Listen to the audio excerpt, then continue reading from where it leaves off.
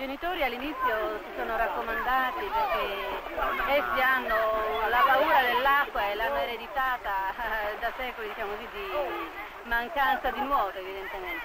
E poi a un certo momento hanno, ci hanno chiesto anche di aiutarli a sbloccare questi bambini da tutta quella serie di fobie, di paure che hanno anch'essi diciamo così, acquisiscono meglio nel momento in cui vengono a contatto con la società. Insegnare sport in una periferia di Roma come Pietralata significa tante cose.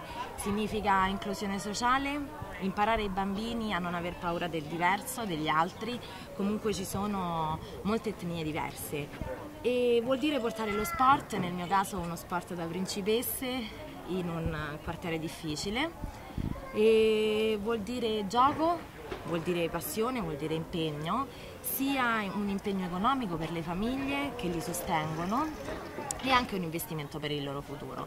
Le famiglie quando portano i bambini a fare sport si aspettano un ambiente sano, un ambiente in cui far crescere i propri figli, farli crescere, come ho detto prima, con dei valori, farli crescere con delle regole, educarli allo stare insieme e stare bene insieme, che non sempre nel contesto scolastico è possibile.